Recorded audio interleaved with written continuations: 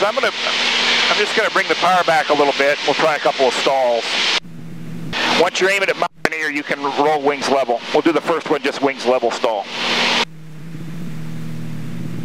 Okay, so go ahead and smoothly bring the stick back, and I'll, and I'll help you establish the proper pitch attitude.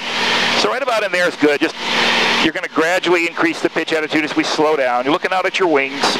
When you feel the buffet, no power, just relax the back stick and, and uh, let the airplane fly again. A little bit more right rudder. There you go. Just hold this pitch attitude now. Don't keep bringing it back anymore.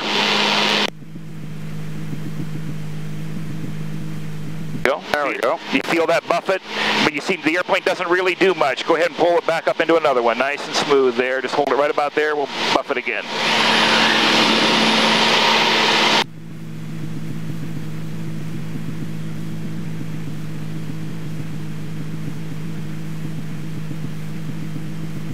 So it's very, it talks to you.